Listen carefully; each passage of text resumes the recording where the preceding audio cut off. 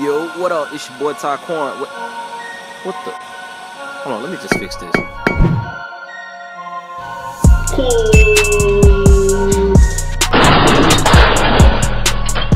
My own friend snitched on me.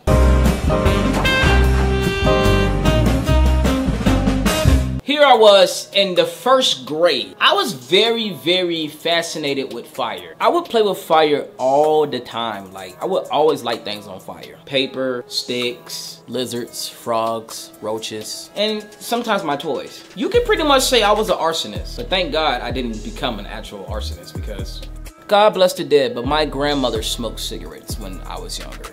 So I used to steal her matches. So one particular day, I just thought to myself, hmm, I should take one of grandma's matches to school and show my friends. So I did. I thought it was a bright idea to bring matches to school and light something in the school, thinking that I would be cool if I did it.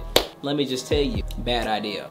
So at my old elementary school, we used to sit in the hallways before our class starts. So basically, all the kids would line up against the wall where your class was, and when your teacher ready for you to come in, they'd open the door and just wait for you to come in. So little old me was in the hallway just waiting for my perfect time to strike a match. And mind you, while you're waiting in the hallways, there were counselors and uh, teachers that walk up and down that monitored us to make sure we wasn't doing dumb fighting or doing anything crazy.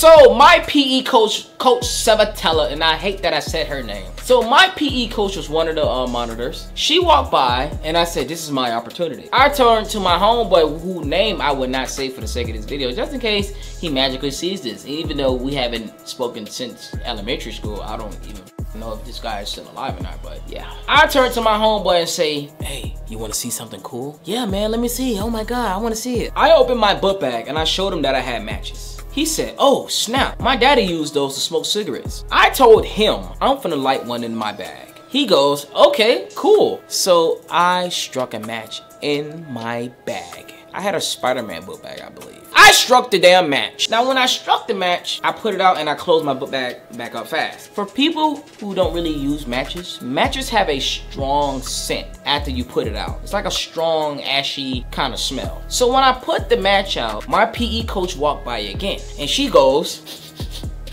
Somebody has matches. Somebody has matches. Somebody has matches. So they started looking all over the place of who can possibly have matches. Now here's the sad part. The smell is mighty strong in the area that I am, so they're mainly looking in our area. So they started going one by one, going to every kid. You got matches? You got matches? You got matches? And they're opening up everybody's book bag. So they get to my homeboy and they ask him, and this goes, I don't have matches. He do. He pointed dead at me and snitched on me. This told on me. He said I had the matches. So when they came to me, I fucking panicked. I started crying. Oh, they grabbed my book bag and rip it open and boom! The matches just sitting right there because there was nothing else in my book bag. I didn't have no paper, no pencils, none of that. I had a fucking thing of matches sitting in my book bag. They dragged my black ass to the office. I'm crying like a little girl. They don't call the fire department down to the school. My mama down there to the school. My grandma down there to the school. Both of them got belts. I'm getting cussed out. My principal on my ass.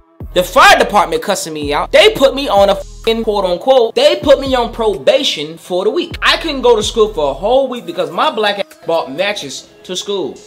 That was the first time ever in my life that I felt betrayed because somebody who I called a good friend snitched on me. I got my ass whooped all throughout the house for taking matches to school. My grandma with my ass, my mama with my ass, my god daddy with my ass.